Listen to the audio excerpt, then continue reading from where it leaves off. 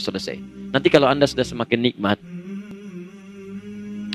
akan ada satu situasi yang nggak bisa dibeli oleh apa pun.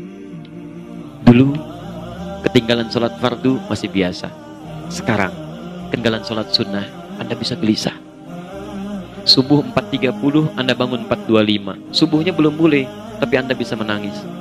Astagfirullah. ya. Astagfirullah. Kenapa, Pak? Bapak ketinggalan tahajud.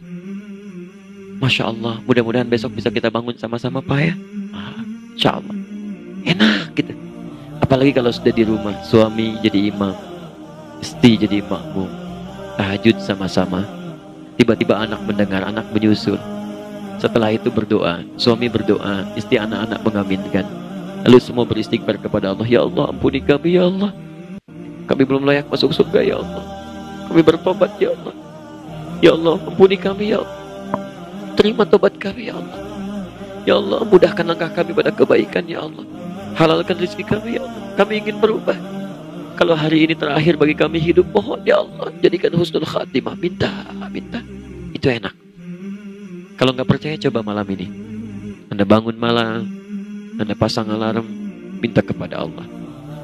Coba, kadang-kadang Anda merasa nikmat tidur, tapi ada yang lebih nikmat ketika Anda bisa bertobat di hadapan Allah Subhanahu wa taala.